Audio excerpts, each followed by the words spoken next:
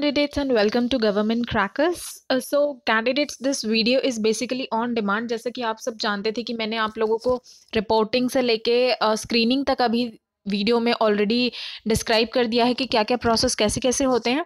एक uh, जो technical field वाले हैं उन कैंडिडेट्स की डिमांड के बेसिस पे ये वीडियो मैं प्रिपेयर कर रही हूँ जहाँ पे मैं आपको A F S B P A T test यानी पायलट एप्टीट्यूड बैटरी टेस्ट के बारे में मैं बात करूँगी which is actually a compulsory test for flying branch तो बेसिकली इस वीडियो में हम बहुत ही डिटेल में जानेंगे कि इस पीएबीटी टेस्ट का एम क्या होता है बेसिकली क्या क्या स्टेजेस होते हैं पूरे पीएबीटी टेस्ट में।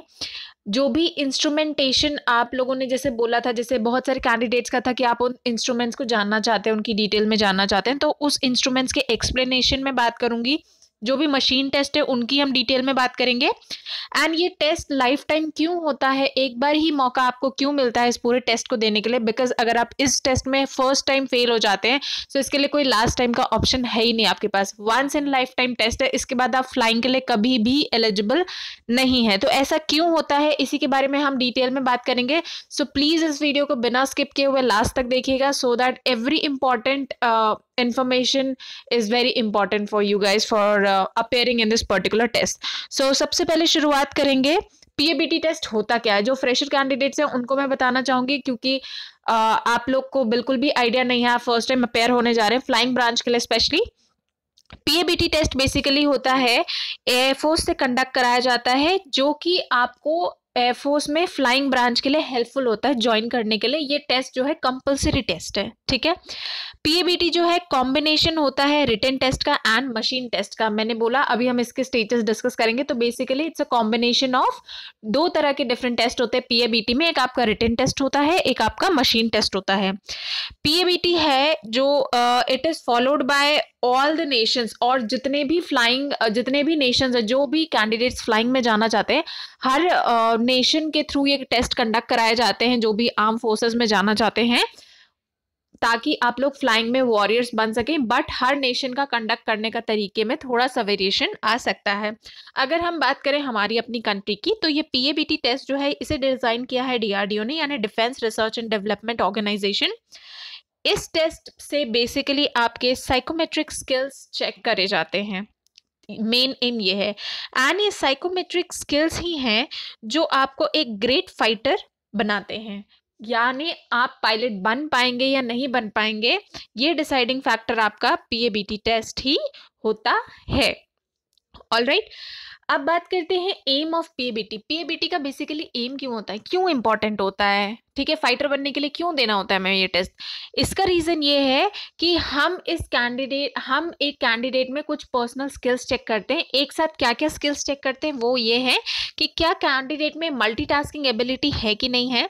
रिफ्लेक्सेस कितनी जल्दी हैं? Situation reaction ability control and coordination skills presence of mind and data and information processing यानी मीटर रीडिंग स्किल्स तो आप देखिए, जब आप एयरक्राफ्ट के अंदर होंगे, आपको मीटर का भी ध्यान रखना है, सिचुएशन को भी देखना है, सारी चीज़ें कंट्रोल एंड कोऑर्डिनेशन में भी होना है सिग्नल्स को भी आप प्रॉपर रिप्लाई कर रहे हैं प्रॉपर कोऑर्डिनेट कर रहे हैं ग्राउंड स्टेशन के साथ तो बहुत सारी मल्टी स्किल्स की रिक्वायरमेंट होती है। आप कितनी फटाफट से काम करते हैं, वो केस बहुत इंपॉर्टेंट होता है यहाँ पे, ठीक है? तो इसलिए पीएबीटी में आप कितने ज़्यादा मल्टी टास्किंग में आपकी एबिलिटी अच्छी है, वो सारी चीज़ें इसमें टेस्ट करी जाती है। इस मायने में ये टेस्ट बहुत ही ज़्यादा इंपॉर्टेंट होता है। It also evaluates in the above mentioned skills and lest authorities know whether you can be train to become a good fighter और not and depending upon these qualities ये हमें पता चलता है कि क्या आप एक ट्रेनेबल पर्सन एक अच्छी ट्रेनेबल पायलट बनेंगे या नहीं बनेंगे। तो ये टेस्ट का बेसिकली ये एम होता है। Why are why conducting this P A B T specially for pilot branch तो पायलट ब्रांच के लिए स्पेशली पी क्यों कंडक्ट करा जा रहा है? क्योंकि यही क्वालिटीज जो मैंने अभी डिस्कस करी these are necessary for becoming a successful pilot वो मल्टीटास्किंग की क्वालिटीज जो हमने डिस्कस करी that are very important and इसे लाइफ टाइम में एक ही बार देने का क्यों मौका मिलता है? वजह इसकी ये है कि वॉर वाली जो सिचुएशन आती है, अब हमारा एक अपना अंदर साइकोलॉजी हमारा नेचर एक स्किल होता है, ठीक है? उन्हें पता चल जाता है कि आप वही रिएक्शन जो है सेम सिचुएशंस में बार बार देंगे। हमारी साइकोलॉजी कभी भी चेंज नहीं हो सकती है।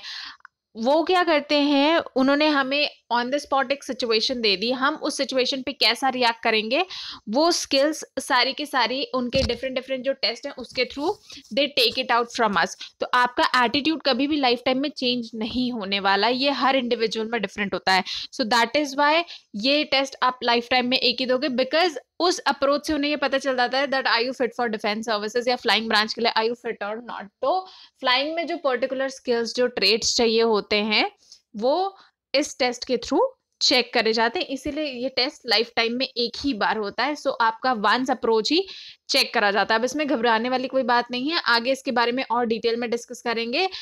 आपको थोड़ा सा ज़्यादा इसमें अलर्ट होने की बहुत ज़्यादा ज़रूरत है, ठीक है? So just keep watching the video assessment part आता है अब कि इसमें कंडक्ट कैसे होता है, कितने पार्ट्स हैं, कैसे आपका असेसमेंट होता है। तो सबसे पहले जो है, आपके एयरफोर्स ऑफिसर्स जो हैं, वो आपको पूरा का पूरा प्रोसीजर एक्सप्लेन करते हैं और सारी चीज़ें रीड आउट करते हैं, जो भी वो मशीन टेस्ट आपको देते हैं। He explains very slowly and ensures that every candidate has understood about the procedure उनका जो एक्सप्लेनेशन होता है they go very slow I mean very slow ठीक है? एंड ट्रस्ट मी उनका जो level of explanation is is very good जब तक आप सबको क्लियर नहीं हो जाए because they also know the importance of giving one time test तो अगर आप वो बार बार इस चीज़ को रिपीट करते रहते हैं is it clear and they keep on repeating until and unless आपके बैच में सारे कैंडिडेट्स को चीज़ें क्लियर हो जाती हैं। Once you are through with the thing वो तीन से चार से पाँच बार आपसे पूछते हैं कि क्या किसी को कोई डाउट है क्या कोई आ, किसी को कुछ चीज़ें समझ नहीं आई हैं उसके बिना वो कभी भी प्रोसीड नहीं करते हैं। All right because they also know कि आपका करियर इससे डिसाइडिंग फैक्टर हो जाता है। ऑल्सो वहाँ पे आपको थोड़ी सी प्रैक्टिस दी जाती है कैसे आपको इंस्ट्रूमेंट्स हैंडल करना है वो थोड़ा सा आपको सारी चीज़ें आराम से एक्सप्लेन कर देते हैं। अब यहाँ पे नोट करने की इंपॉर्टेंट बात यह है कि at this time we should clear our doubts अगर आपको कोई भी डाउट्स हैं प्लीज़ बिना हिचकिचाए हुए आप अपने डाउट्स पूछें बिकॉज़ वो आपका करियर डिसाइडिंग फैक्टर हो सकता है. एंड एक्सपीरियंस यानी रिकमेंडेड कैंडिडेट्स जो हैं मेरे, जिन्होंने मुझे बताया है कि इट्स नॉट हम बोलते हैं वन टाइम टेस्ट है, ठीक है. But the thing is that अगर आप इंस्ट्रक्शंस बहुत अच्छे से फॉलो कर रहे हैं तो आपको इस टेस्ट में कोई भी प्रॉब्लम आने वाली नहीं है. ठीक है। अब पीएबीटी टेस्ट की अगर मैं बात करूँ तो तीन मेजर पार्ट्स में ही डिवाइडेड है। कौन कौन से तीन मेजर पार्ट्स हैं? रिटर्न असेसमेंट और instrumentation reading light control test और sensory motor apparatus drum test या कंट्रोल वेलोसिटी टेस्ट ठीक है? तो इसे एलसीए टेस्ट भी एलसीटी टेस्ट भी बोलते हैं या सेंसरी मोटर टेस्ट और एसएमए टेस्ट भी बोलते हैं। कुछ कुछ वेबसाइट्स में अगर आप पढ़ेंगे डिटेल में तो ऐसे भी दिखेगा। ड्रम टेस्ट भी बोलते हैं एंड कंट्रोल वेलोसिटी टेस्ट भी बोलते हैं। सबसे पहले बात कर लेंगे अब हम इंस्ट्रूमेंट रीडिंग की। इंस्ट्रूमेंट रीडिंग में क्या होता है? आपका रिटर्न टेस्ट होता है। बेसिकली इस टेस्ट का एम ये होता है कि हम कैंडिडेट की एबिलिटी फाइंड करते हैं कि आप डिफरेंट डिफरेंट स्टूड इंस्ट्रूमेंट्स को कितने कम से कम समय में कितनी जल्दी आप रीड आउट कर पाते हैं। सो so, अब मैं जो डिस्कस करने जा रही हूँ वहाँ पे इंस्ट्रूमेंट की इमेजेस के साथ मैं उसके प्रिंसिपल्स आपको बताते हुए चलूँगी। प्लीज़ उसको ध्यान से समझिएगा।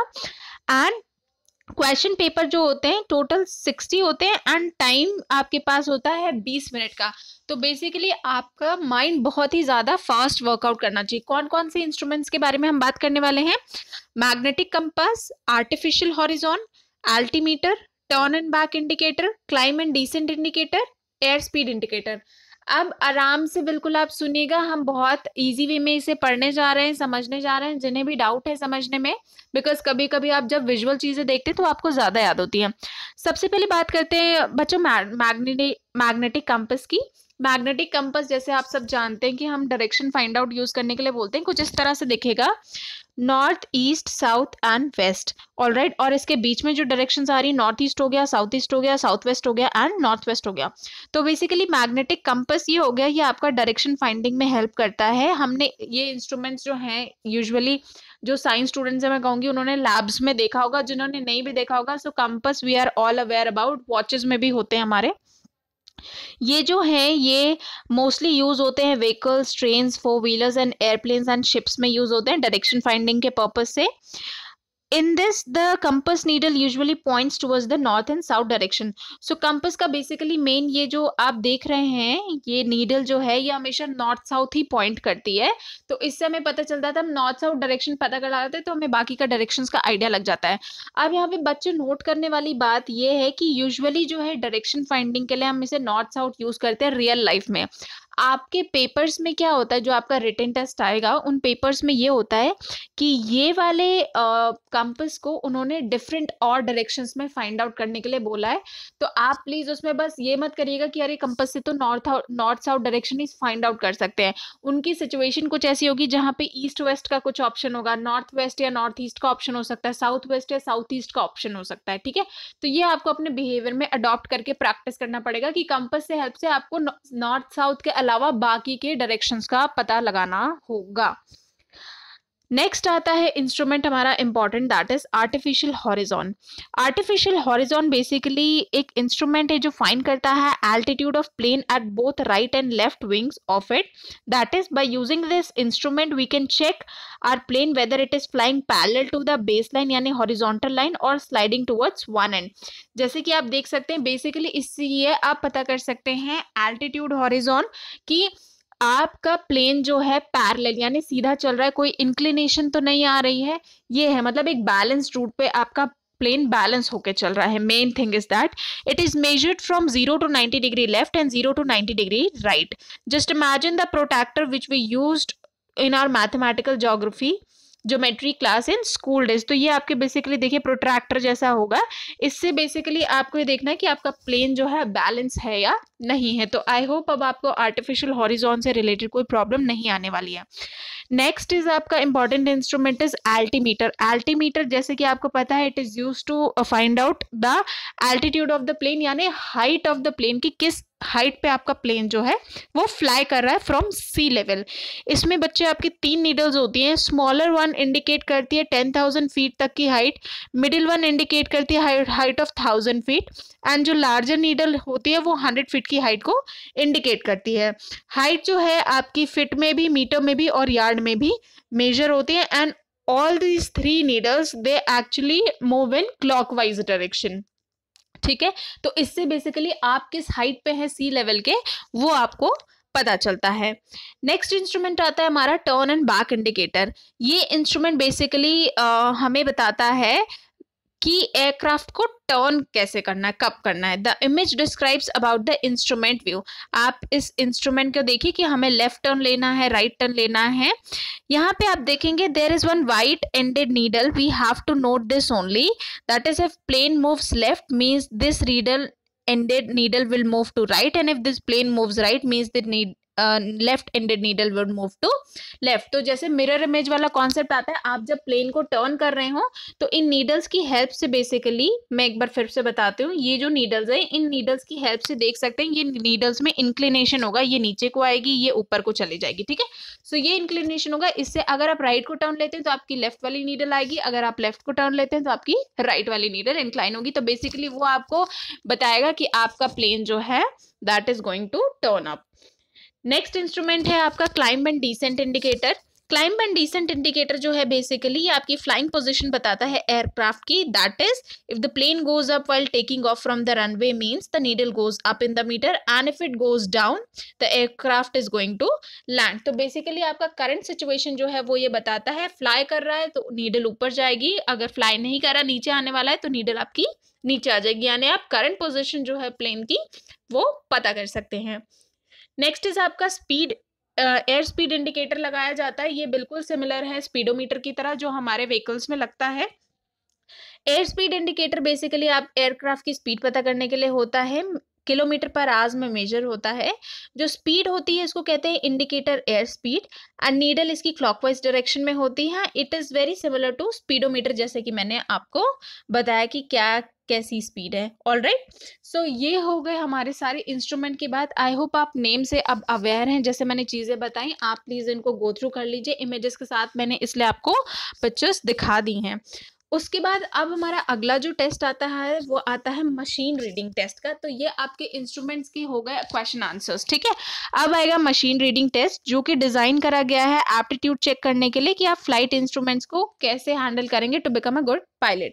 इसमें दो टेस्ट होते हैं आपके LCT test and drum test. LCT test यानी एस एम ए टेस्ट भी सेंसरी मोटर टेस्ट भी बोलते हैं इसको।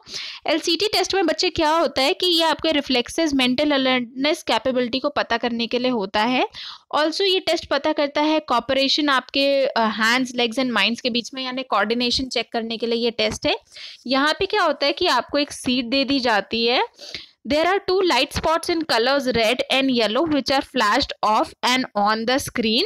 The candidate are given clear explanation and practice demo for this by officers तो बेसिकली दो डॉट्स इंडिकेट होते हैं इस टेस्ट में आपको, ठीक है? येलो एंड रेड कलर के फ्लैश स्पॉट्स इंडिकेट होते हैं। Also we are given one time practice before attending test test तो हमें क्या होता है? एक टाइम प्रैक्टिस करने के लिए इस इंस्ट्रूमेंट पे बोला जाता है। तो बेसिकली इस इंस्ट्रूमेंट में हम यूज़ क्या क्या करते हैं? सबसे पहले आपको होता है एक हैंड ऑपरेटेड जो है स्टिक मिलती है, जो कंट्रोल करती है आपका मूवमेंट जब भी लाइट आएगी तो स्क्रीन पे आपको कंट्रोल करना होगा अपने आप को तो उस मूवमेंट को कंट्रोल करने के लिए एक हैंड ऑपरेटेड स्टिक मिल जाती है। उसके बाद आता है आपका फुट पैडल फुट पैडल्स आपकी लेफ़्ट एंड राइट होने के लिए होता है, यानी उन डॉट से आपको बचना होता है। तो फुट पैडल का आप यूज़ करके left and right side movement कर सकते हैं। उसके बाद आता है लाइट लेवर। लाइट लेवर में क्या होता है बेसिकली ताकि आप हैंडल हैंडल कर सके, hand to use it of light when it is move forward, it puts red light and when it is move backward, it puts yellow light. तो जब आप आगे बढ़ रहे हैं बच्चे तो आपको रेड लाइट जलाना होता है। जब आप पीछे जा रहे हैं तो येलो लाइट। बेसिकली इसमें इनका मेन चीज़ ये है कि इन्होंने आपके सारे बॉडी पार्ट्स को एंगेज कर दिया है किसी ना किसी तरीके से। अब इसमें वो ये देखते हैं कि आप एक साथ अपने बॉडी पार्ट्स को कैसे कंट्रोल करते हैं, कैसे कोऑर्डिनेट करते हैं to get successful to this test तो main aim of this test is कि आपके सारे बॉडी पार्ट्स को उन्होंने एंगेज कर दिया एंड नाउ आपका कोऑर्डिनेशन आपके पूरे बॉडी पार्ट्स का विथ योर माइंड वो इस टेस्ट में चेकआउट करा जाता है। Three chances are given for this test and the best performance out of them is taken तो आपको ये टेस्ट करने के लिए तीन मौके मिलते हैं। तीनों में से जो आपका बेस्ट परफॉर्मेंस आता है, वो हम काउंट करेंगे इसमें। अब इसके लिए अगर मैं टिप्स की बात करूँ तो सबसे पहले जो भी इंस्ट्रक्शंस आपको ऑफिसर से मिल रहे हैं please listen them carefully second thing अगर आपको कोई भी डाउट है, छोटा सा भी please ask as soon as possible do not get afraid and predict जैसे कि आप कोई गेम खेल रहे हैं। आपको थ्री ट्रायल्स मिलेंगे, ठीक है? वो आपको यूज़ करने हैं। जैसे ही आप एनालाइज कर लेते हैं कंट्रोलर की sensitivity, you can take a walk for, to get high scores for the other two attempt तो फ़र्स्ट अटेम्प्ट में ये आप ट्रिक यूज़ कर सकते हैं कि आप बेसिकली चेकआउट करिए कि क्या कैसे काम कर रहा है। बहुत ज़्यादा नर्वस होने की ज़रूरत नहीं है, ठीक है? आपको, क्योंकि थ्री अटेम्प्ट मिलेंगे, ऐसा नहीं है इसमें आपको सिंगल अटेम्प्ट मिलेगा। तो फ़र्स्ट अटेम्प्ट में आप जाके देखिए कि आपको कैसा परफॉर्म करना है। अगर मैं बात करूँ नेक्स्ट टाइप की टेस्ट की जो होता है आपका डीटी या सीवीटी टेस्ट में तो इसमें बेसिकली आपकी capacity and control velocity check करी जाती है। यहाँ पे देखिए आप इस टेस्ट में होता क्या है, जैसे आप इसमें देख रहे होंगे नीचे रेड कलर का डॉट है। अब इसमें क्या होता है कि स्क्रीन चलती हुई स्क्रीन होती है, जैसे वीडियो गेम की होती है, चलती हुई स्क्रीन होगी, उस रेड कलर के डॉट को आपको फॉलो कराना है पाथ वो जो येलो कलर की लाइन दिख रही है बेसिकली आपको इस रेड कलर के डॉट को इस येलो लाइन के ऊपर इस तरह से चलाते जाना चलाते जाना है एंड ये स्क्रीन जो है ये नीचे को आती रहेगी आती रहेगी आती रहेगी। कुछ टाइम तक जब आप चलेंगे, वहाँ पे एक रेड लाइन आ जाएगी। ये रेड लाइन टच करती है आपका टेस्ट जो है क्लियर हो जाएगा। तो it is more of like a video game इससे रिलेटेड मैं वीडियो ज़रूर अपलोड कर दूँगी। यहाँ पे इस येलो डॉट को आपका येलो डॉट को बेसिकली आपको पीछा करना है। ठीक है? यहाँ हमारी ड्यूटी है to catch the yellow dots of light और जितना ज़्यादा आप उसको कैच करते हैं, आपको पॉइंट्स मिलते जाते हैं। और लास्ट में ये जो रेड कलर की लाइन है, ये आपकी फिनिश लाइन हो जाती है। इसके लिए टिप्स क्या है बच्चे? ये है कि आप again instructions are very important for every sort of test ये ऑब्जेक्टिव टाइप टेस्ट होता है। आपको क्वेश्चंस मिलेंगे related to aircraft and meters इस टेस्ट में आपको ज़्यादा टाइम लेने की ज़रूरत नहीं है, ठीक है? ज़्यादा क्वेश्चन ज़्यादा टाइम आप वेस्ट मत करिएगा। चीज़ों को ध्यान से पढ़िए इंस्ट्रक्शंस को ध्यान से पढ़िए मीटर्स को देखिए, ठीक है? एंड फॉलो करिए इंस्ट्रक्शंस को। ऑल्सो कैंडिडेट्स जैसे कि आपको पता है कि रिजल्ट्स आ चुके हैं एफ़ के तो मैंने ऑलरेडी जो है प्लेलिस्ट में वीडियो बना रखी है एसएसबी रिलेटेड स्पेशल एसडी की कि कैसे एसडी बहुत इंपॉर्टेंट रोल प्ले करता है साइकोलॉजी टेस्ट में। उसकी रियलिटी क्या होती है? डिफेंस का क्या लिंक होता है? यानी अगर हम वो बोलते हैं हमें कि फैमिली के बारे में हमें जानना है तो family is equivalent to C of a unit तो वो फैमिली से आपको सी ऑफ़ यूनिट यानी कमांडिंग ऑफिसर ऑफ़ यूनिट से रिलेट करते हैं। तो क्या ट्रेड्स वो निकालते हैं? उसकी रियलिटी जानने के लिए please watch this video documents आपको जो भी चाहिए ऑफिशियल डॉक्यूमेंट्स की लिस्ट मैंने निकाली, कुछ अपडेटेड हैं, कुछ चेंजेस भी हैं, आप प्लीज़ इस वीडियो को गो थ्रू कर लीजिए, जहाँ से आपको डॉक्यूमेंट लिस्ट मिल जाएगी। Reporting at S S B centres different different centres की डिटेल्स एंड कहाँ कहाँ पे रिपोर्टिंग पॉइंट्स आपके कॉन्टैक्ट डिटेल्स उससे रिलेटेड ऑलरेडी एक वीडियो बनी बनी है। एंड कुछ कैंडिडेट्स की डिमांड थी कि जो है एफ़ एस बी की प्रिपरेशन कैसे स्टार्ट करें तो उसके लिए फ्रेशर्स के लिए मैंने ये वीडियो ऑलरेडी बना के रखी हुई है। आप इसे प्लीज़ गो थ्रू करिए डिटेल में एंड इसे ध्यान से देखिए। So candidates I hope you like this video PABT जैसे कि आप लोगों ने बोला था, मैंने सारी चीज़ें बता दी हैं डिटेल में। अगर आप लोग को कुछ डाउट हो प्लीज़ कमेंट एंड बस यही है कि नर्वस होने की ज़रूरत नहीं है। Have faith in yourself have confidence in yourself थोड़ा सा उस शॉर्ट से रिलेटेड गेम खेलना शुरू करें। आजकल मोबाइल में हमें बहुत सारे गेम्स मिल जाते हैं। ठीक है वन टाइम टेस्ट है, मैं मानती हूँ, मगर ये बात है कि अगर आप खुद पे आपको फेथ है ट्रस्ट है, देखिए अगर आपको माइंड आपको इसीलिए अपने माइंड को काम करना है, आपको बेसिकली खुद सोचना है कि आप ये चीज़ कर सकते हैं, आपको अपने आप को भरोसा दिलाना है। वन टाइम टेस्ट है बट ये है कि अगर आप इंस्ट्रक्शंस करेंगे तो ये वन टाइम टेस्ट क्लियर हो सकता है. There is nothing big with it ये एक मिथ बना के रखा हुआ है. जैसे हमारे ट्वेल्थ के बोर्ड एग्ज़ाम्स होते हैं तो डिफरेंस इज़ नथिंग बट ये होता है कि हम दूसरे स्कूल में एग्ज़ाम्स जाके देते हैं एंड वो हमारा डिसाइडिंग फैक्टर हो जाता है. जब तक कोई भी चीज़ हमारी डिसाइडिंग फैक्टर नहीं होती, हम उस चीज़ को लाइफ में सीरियसली नहीं लेते हैं. ऑल राइट सो टेस्ट तो हम पहले भी देते हैं स्कूल में बट ट्वेल्थ के बोर्ड को किस लिए कंसिडर करा जाता है? क्योंकि आगे लाइफ टाइम में वो चीज़ें मांगी जाती हैं। ऑल राइट तो इसलिए वो हमने मिथ एक बना के रखा है कि P AB T is difficult it is not normal test की तरह है। आप इसे आराम से करिए। It's very easy very simple सिर्फ़ आपके कंट्रोल कोऑर्डिनेशंस को किया जा चेक किया जाता है। उसके लिए आप ये करिए, आप मेडिटेशन वगैरह स्टार्ट कर सकते हैं। कुछ ऐसी एक्टिविटीज़ आप परफॉर्म कर सकते हैं जिसमें आपका बॉडी पार्ट्स यूज़ हों और आप उनको कोऑर्डिनेट कर रहे हों। तो ऐसी चीज़ें आप घर पे भी प्रैक्टिस कर सकते हैं गेम्स खेल सकते हैं। एंड uh, बाकी अगर आपको कोई भी डाउट हो कोई भी कन्फ्यूज़न हो please comment and we are there to help you out thank you and all the best to everyone